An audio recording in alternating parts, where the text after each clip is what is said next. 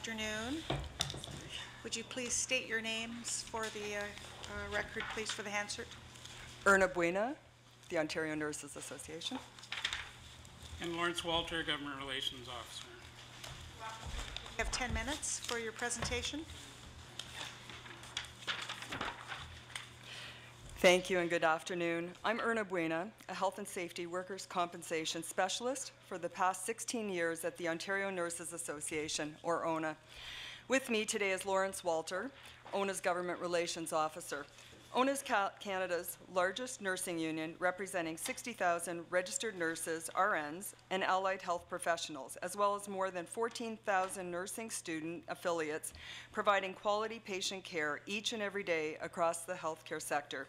While ONA supports the government's efforts to move forward with presumptive legislation for post-traumatic stress disorder, or PTSD, ONA must express our disappointment with the government for excluding frontline nurses from coverage under Bill 163. This exclusion ignores both the growing experience of nurses with extremely violent and traumatic incidents in their workplace and the findings in the literature showing that the traumatic experiences that nurses face at work are closely linked with PTSD. ONA is calling on the government and the Standing Committee to adopt the model used in Manitoba's recent presumptive legislation, the leading province on presumptive legislation regarding PTSD. Manitoba is the first province that does not limit the occupations eligible to make a workers' compensation claim for PTSD, clearly includes nurses, and the Manitoba legislation presumes PTSD is the result of workplace trauma unless proven otherwise. At a minimum, nurses must be included as an occupation covered under Bill 163. Bill 163 excludes coverage for predominantly female occupations in healthcare, such as nurses, and provides entitlement solely for first responder male predominant occupations. Yet nurses are recognized as first responders under the 2013 legislation that proclaimed May 1 as First Responders Day in Ontario. We ask, why exclude nurses considering that healthcare occupations are a leader in lost time claims for violence-related injuries? 11% of healthcare lost time injuries are from workplace violence. There were 680 lost time injuries in 2014, up from 639 in 2013. This is especially unacceptable in a workplace culture of acceptance where the incidence of violence and harassment, including sexual harassment, will not soon end and with the mental trauma and injury that naturally flow from these and other healthcare psychosocial hazards, including exposure to infectious diseases such as SARS and Ebola. In fact, Dr. John Bradford, a renowned forensic psychiatrist, has corresponded with ONA to state his expert opinion that it is incredulous to Dr. Bradford that nurses would not be covered under Bill 163. Dr. Bradford argues that nurses are in more frontline situations of exposure to trauma than many first responders. Secondly, Dr. Bradford argues that first responders are exposed to acute events that are easily, usually easier to recover from, even in the case of repeated exposure to these type of acute events. Whereas nurses are much more likely to be exposed to chronic trauma, which is more subtle, becomes chronic PTSD, and this is more difficult to treat in the longer term. We agree that nurses, at a minimum, must be covered under Bill 163 as a result of the day-to-day traumatic incidents and carnage of violence, sickness, suffering, and death that all nurses in all areas deal with every day. A comprehensive 1996 Manitoba study of PTSD among nurses includes violence at work as one of the most commonly cited stressors that lead to PTSD. Others include death of a child, particularly due to abuse, treating patients that resemble family or friends, death of a patient or injury to a patient after undertaking extraordinary uh, efforts to save a life, and heavy patient loads. There appears to be a disconnect in the minister's announcement for establishing a workplace violence leadership table in Ontario in which they recognize workplace violence as a serious hazard. However, at the same time, the Minister of Labour has introduced presumptive PTSD legislation that excludes nurses from the very piece of legislation that can at least provide nurses with early medical treatment and compensate nurses for lost wages resulting from psychological illnesses sustained from the acknowledged violence and traumatic events in their workplaces. Why is treating and compensating nurses when the health and safety system in their workplace fails not important to the Minister of Labour? It is estimated that 14% of all nurses exhibit some type of PTSD symptom, four times higher than the general adult population. As many as 25% of critical care nurses and 33% of emergency nurses have screened positive for PTSD symptoms. In studies in Manitoba, medical services nurses experienced a PTSD prevalence of 34.8%. In a replication study of RNs working in emergency and in intensive care units, the analysis revealed a PTSD prevalence of 42.1%. In a 2005 study from the University of British Columbia of 107 hospital emergency nurses, 21.7% reported clinically significant post-traumatic stress symptoms. The work events most frequently cited as traumatic were involving assault or threats of assault and events involving severe injuries to children. Other triggers were events involving or reminding of family or friends, traumatic medical events such as excessive bleeding or prolonged resuscitation followed by death, and multiple simultaneous traumatic events. In a further study, all nurses who met the diagnostic criteria for PTSD experienced traumatic events, including witnessing patient death, massive bleeding, open surgical wounds, trauma-related injuries, and performing futile care to critically or terminally ill patients. The Ontario Hospital Association reports more than 6,400 incidents of workplace violence in Ontario in 2015. For 2013-14, a report from a Toronto hospital shows there were 502 violent incidents reported, of which 297 involved RNs. At a Toronto mental health facility, 514 reports of violent incidents were documented in that year. That is over 1,000 violent incidents in two Toronto hospitals. These are reports of violent incidents where agitated patients are biting, scratching, spitting, stabbing, punching nurses. Nurses are being beaten beyond recognition, punched in the face, in the chest, in the stomach. They're kicked, bones are broken, tackled, and assaulted. One nurse had her finger amputated in a violent assault by a patient. Another nurse screaming for help. Excuse me.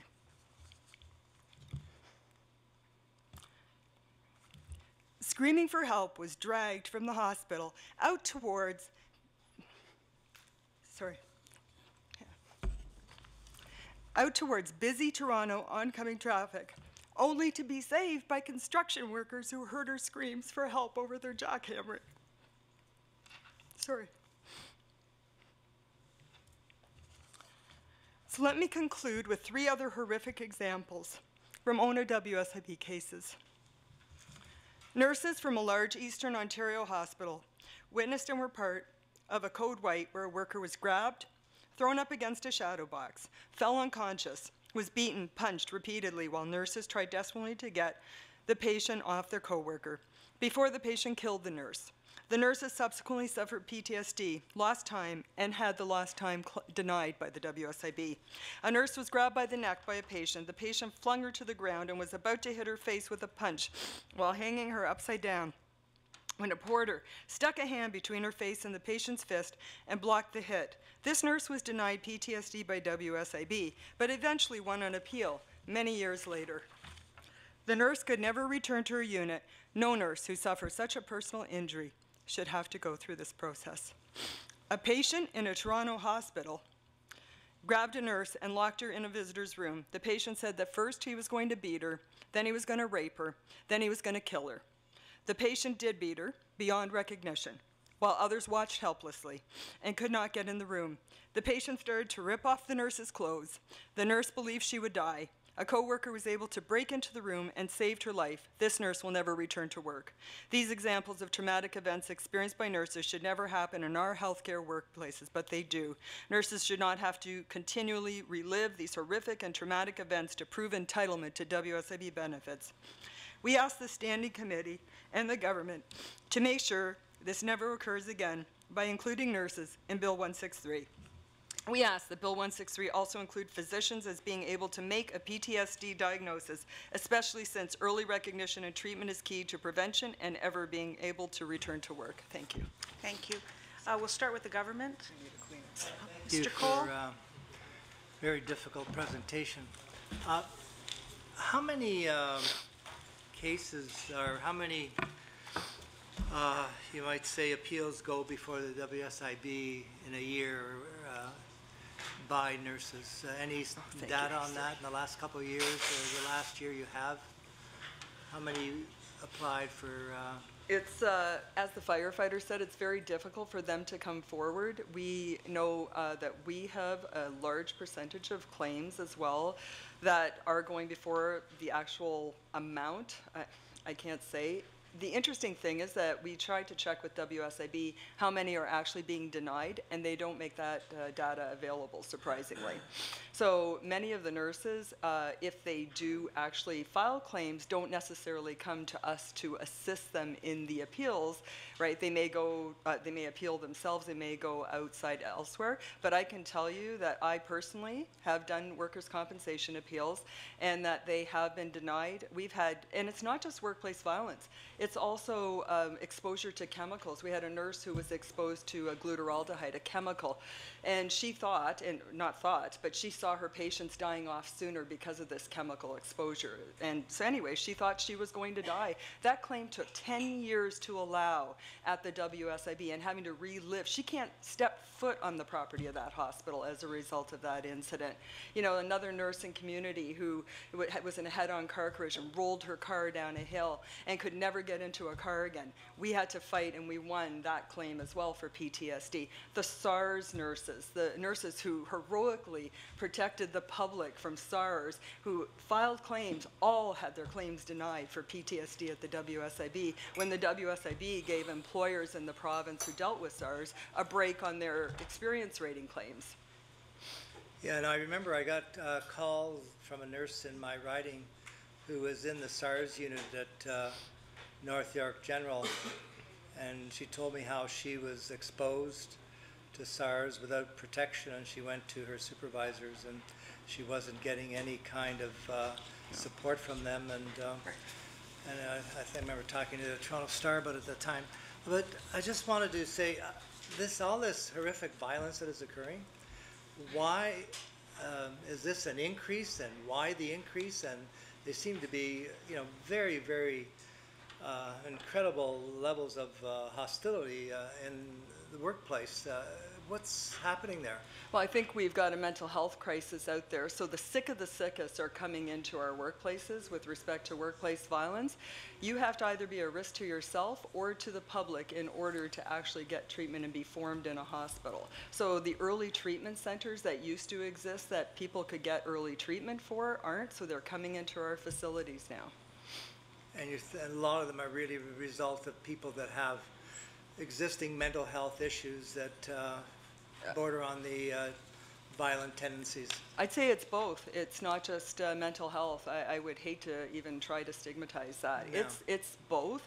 We've got angry wait, people angry at wait times. You know, you're talking about people who are seeing their loved ones possibly dying, right? Like in front of them, and they want service. They want it then, and yet you know the nurses have to triage. They have to triage And based they, on. they take it out on the nurses that are trying to help. Absolutely, absolutely. And they're exposed to, I mean, code blues. They see babies being brought into the emergency, babies being, you know, brought into the ICU, babies who are dying, who have been physically assaulted and then die before them, and the grieving parents. And I mean, it's awful what they have to experience. And it's just repeated over and over and over again.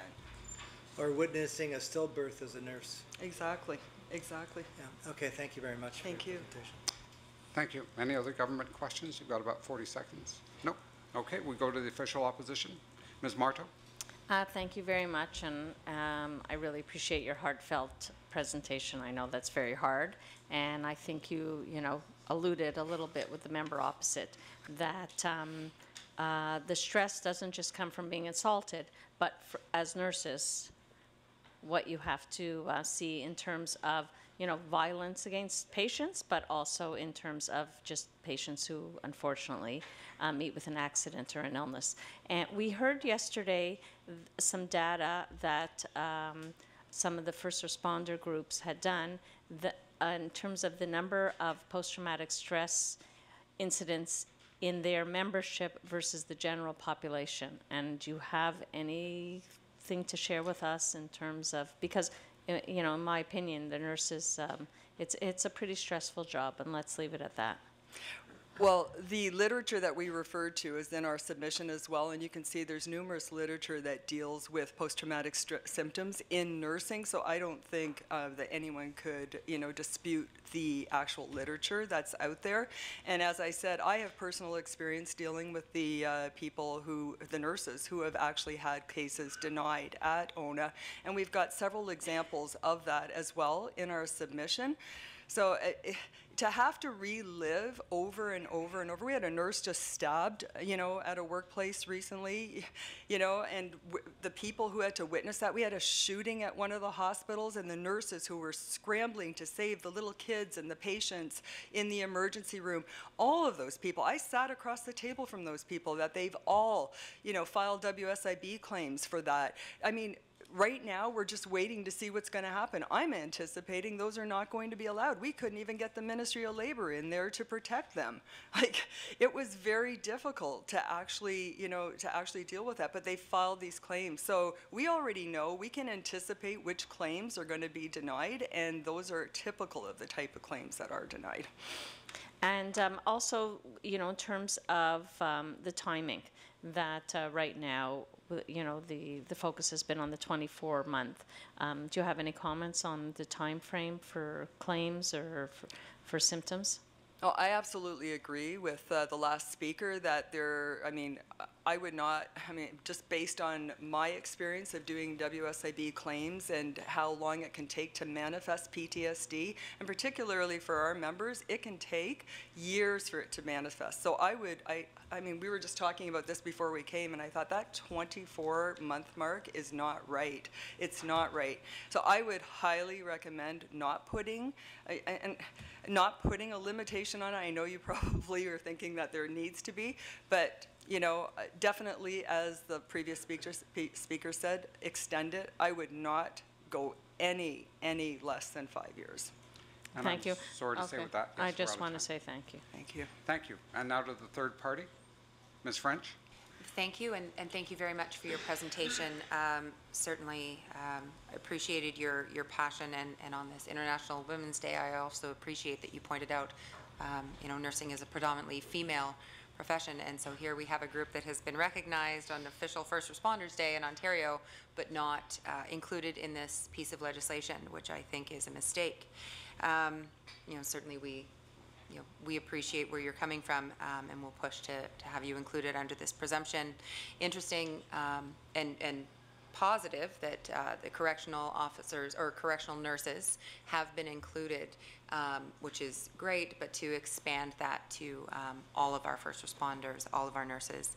Um, thank you also for, um, expanding on, on just how traumatizing in and of itself, not just re-traumatizing the WSIB process is. I think that that's an important thing for the government to take away from this whole process, so that um, when you are covered by the presumption, hopefully, uh, that there will be others still uh, making their way through the system. Thank you for advocating on their behalf as well.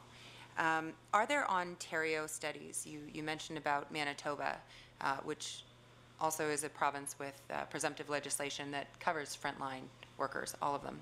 Um, So are there Ontario studies that we can draw from with your, stati- for statistics for nursing? For statistics, well, ONA actually did a survey, uh, not on PTSD, but just on workplace violence, and uh, this was uh, in 2009. So 54% of our members during that survey actually indicated that they had been physically abused. And is that something that you've provided to the government in this submission? It's in our have a say. I don't know if, uh, uh, I'm sure it they would isn't in the appreciate having submission, Ontario but uh, numbers. it, it's so widely accepted that the government established a workplace violence leadership table in healthcare. Hmm. So, I mean, I don't know that we have to even prove it anymore. Why would both the government, the Minister of Labor and Health have established this table if it wasn't recognized? Yes. Ms. Forster? So um, why is it that you think the government didn't include nurses uh, as part of this bill? Is it, is it because there were a thousand uh, violent incidences, um, or, uh, you know, just in Toronto hospitals in a one or two-year period? Um, You know, um, is it because there would be uh, too many people uh, coming forward uh, claiming PTSD rightly? Uh, I think uh, both. I think that it's a female-dominated workplace, and we seem to see so much emphasis on construction and mines and, you know, all the male-dominated workplaces. And yet, uh, you know, the female-dominated workplace, it's like this exception, it's accepted that, you know, we're being beat up is part of the job. So I think both, definitely. I- you know, I don't know. It, it makes no sense to me because the government is saying on one breath that they are supporting nurses, that they're trying to, they understand the, the extent of the problem in healthcare. They know that something needs to happen, and yet, in another breath, they're not willing to compensate the female-dominated, you know, workers in these workplaces. That And with that, no I'm sense. sorry to say you're out of time. Thank you. Thank you very much for the presentation.